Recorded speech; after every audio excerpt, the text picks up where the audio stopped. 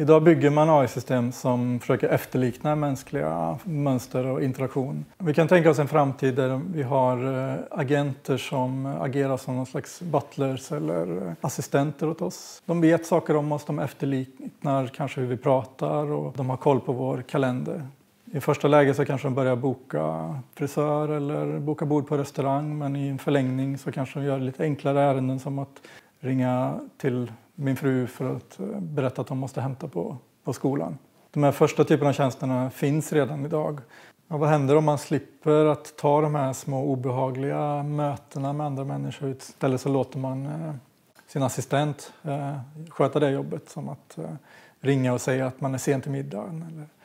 Om vi använder den här typen av agenter så, så, skapar det också en osäkerhet om vem vi agerar med. Och det kommer finnas problem med eh, att, att lita på en annan eh, människa på grund av att möjligheten alltid finns där. Att det kanske inte är den vi tror som vi interagerar med.